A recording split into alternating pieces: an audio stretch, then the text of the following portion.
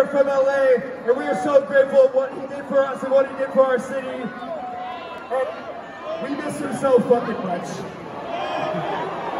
And on the count of three, I would just like to do a moment of silence for everyone we have lost. One, two,